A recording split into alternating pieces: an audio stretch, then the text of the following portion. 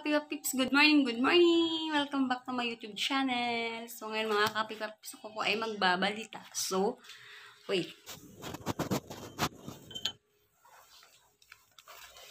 Ito na po mga Kapipa Pips. Magandang umaga po. Ito po ang aking nagbabagang balita. Tukuyin niyo po.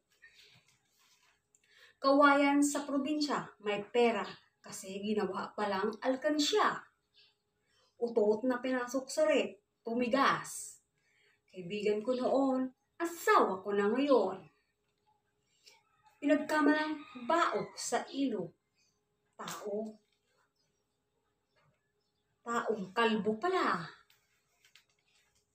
Kaya mga kapipapips, ito po ang aking nagbabagang balita. Ako po, si Pretzel Amarili, nag-uulat ng live vlogs. Prets E. Kaya mga kapipapibs, please subscribe and share and follow.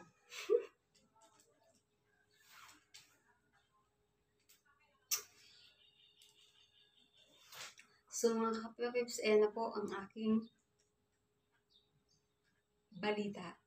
Balitang kalokohan. So mga kapips, um, bye. See you next vlog.